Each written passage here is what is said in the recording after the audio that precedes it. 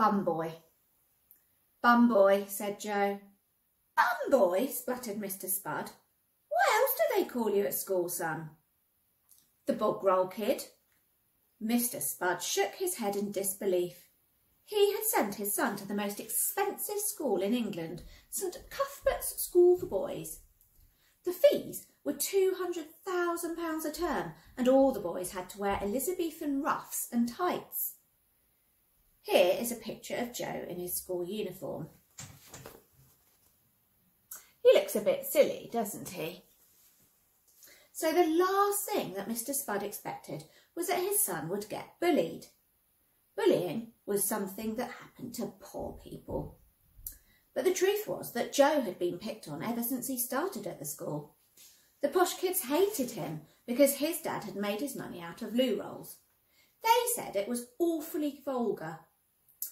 Bottom billionaire, the bum white hair, master plot paper, continued Joe, and that's just the teachers. Most of the boys at Joe's school were princes or at least dukes or earls. Their families had made their fortunes from owning a lot of land. That made them old money. Joe had quickly come to learn that money was only worth having if it was old. New money from selling loo rolls didn't count.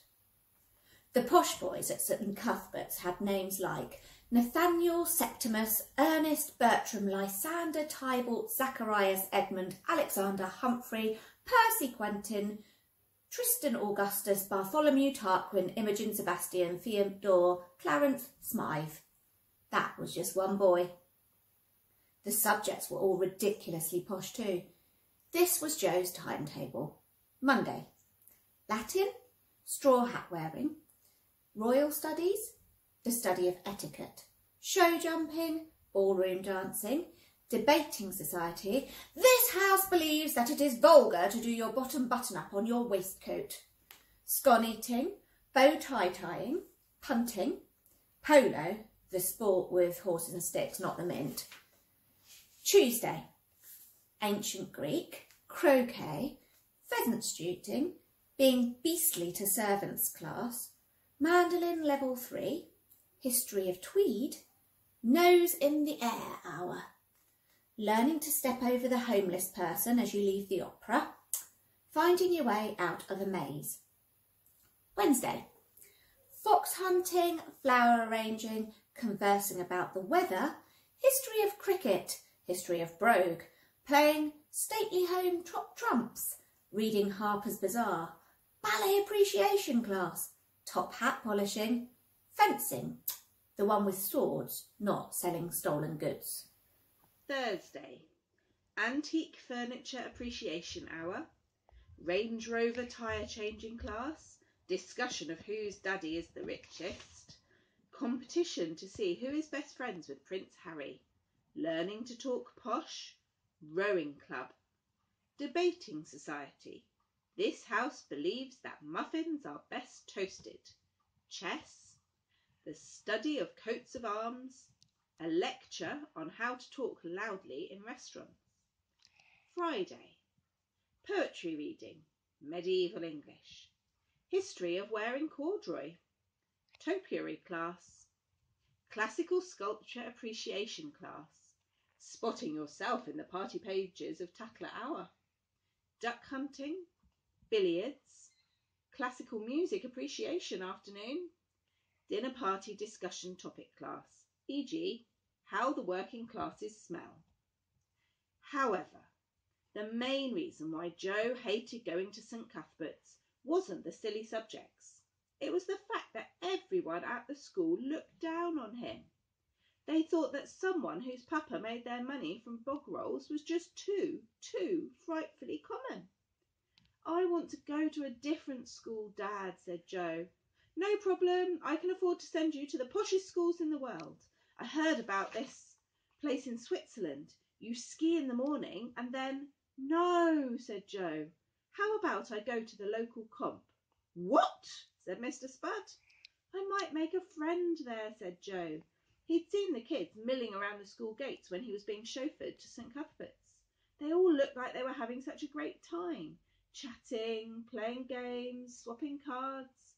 To Joe, it looked so fabulously normal. Yes, but the local comp, said Mr. Spud incredulously. Are you sure? Yes, said Joe defiantly. I could build you a school in the back garden if you like, offered Mr. Spud. No, I want to go to a normal school with normal kids. I want to make a friend, Dad. I don't have a single friend at St. Cuthbert's. But you can't go to a normal school. You're a billionaire boy. All the kids will either bully you or want to be friends with you just because you are rich. It'll be a nightmare for you. Well, then, I won't tell anyone who I am. I'll just be Joe. And maybe, just maybe, I'll make a friend, or even two. Mr. Spud thought for a moment and then relented. If that's what you really want, Joe, then okay, you can go to a normal school. Joe was so excited he bum jumped along the sofa. Bum jumping, verb, bum jumping. To move places while sitting, using only your bottom to power you, thus meaning you do not have to get up, much favoured by the overweight. He bum jumped along the sofa nearest to his dad to give him a cuddle. Don't crease the soup, boy, said Mr. Spud. Sorry, Dad, said Joe, bum jumping back a little. He cleared his throat. Um, I love you, Dad. Yes, son, ditto, ditto, said Mr. Spud as he rose to his feet. Well, have a good birthday, mate. Aren't we going to try and do something together tonight, said Joe, trying to hide his disappointment. When he was younger, Joe's dad would always take him to the local burger restaurant as a birthday treat. They couldn't afford the burgers, so they would just order the chips and eat them with some ham and pickle sandwiches that Mr. Spud would smuggle in under his hat. I can't, son, sorry. I've got a date with this beautiful girl tonight, said Mr. Spud, indicating page three of the Sun. Joe looked at the page. There was a photograph of a woman whose clothes seemed to have fallen off. Her hair was dyed white blonde, and she had so much makeup on it was difficult to tell if she was pretty or not. Underneath the image it read, Sapphire, 19, from Bradford. Likes shopping, hates thinking. Don't you think Sapphire's a little young for you, Dad? asked Joe. It's only a 27 year age gap, replied Mr. Spud in an instant. Joe wasn't convinced. Well, where are you taking this Sapphire? A nightclub. A nightclub? asked Joe. Yes, said Mr. Spud in an offended tone. I am not too old to go to a nightclub. As he spoke, he opened a box and pulled out what looked like a hamster that had been flattened by a mallet and put it on his head. What on earth is that, Dad? What's what, Joe? replied Mr. Spud with mock innocence as he adjusted the contraption to cover his bald dome. That thing on your head. Oh, this is a toupee, boy. Only ten grand each. I bought a blonde one, a brown one, a ginger one, and an afro for special occasions. It makes me look 20 years younger, don't you think? Joe didn't like to lie. The toupee didn't make his dad look younger. Instead, it made him look like a man who was trying to balance a dead rodent on his head. Therefore, Joe chose a non-committal. Hmm. Right, well, have a good night, Joe added, picking up the remote. It looked like just him and the 100-inch TV again. There's some caviar in the fridge for your tea, son, said Mr. Spud as he headed for the door. What's caviar? It's fish eggs, son. Ugh. Joe didn't even like normal eggs much. Eggs laid by a fish sounded really revolting. Yeah, I had some on toast for my breakfast. It's absolutely disgusting, but it's very expensive, so we should start eating it. Can't we just have bangers and mash, or fish and chips, or shepherd's pie or something, Dad? Mmm, I used to love shepherd's pie, son. Mr. Spud drooled a little, as if imagining the taste of shepherd's pie. Well then, Mr. Spud shook his head impatiently. No, no, no. We are rich, son. We have to eat all this posh stuff now, like proper rich people do.